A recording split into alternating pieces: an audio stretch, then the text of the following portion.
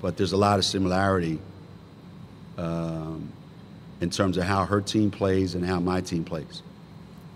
I think that's very similar in what's demanded and what's expected and you know how we share the ball, the intensity level that we play at. Um, you know, and I think that's probably why the the games have been the way they are. You know, that that you've got two really, really, really good teams. Throughout my career, we all know I played Notre Dame a number of times, and um, I think every time we played them, the game was played at a really high level.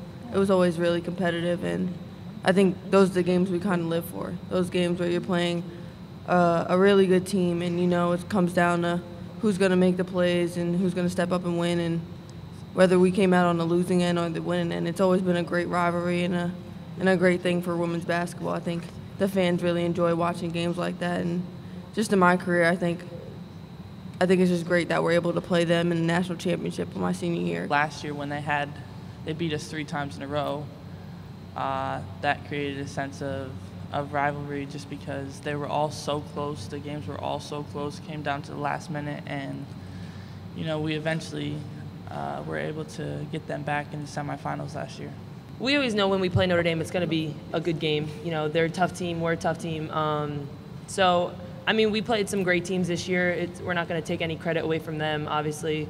Um, we had some tough games uh, this year and in the tournament, and um, you know, we're definitely looking forward to you know playing the best in order to win. Obviously, um, it's going to be a fun game tomorrow. I think we're all looking forward to it. I'm sure they are too. So, there there needs to be more rivalries like Connecticut and Notre Dame. There needs to be more games like Connecticut and Notre Dame where the intensity level is, is that high, where the, you know, you have so many good players on the floor playing at a real high level.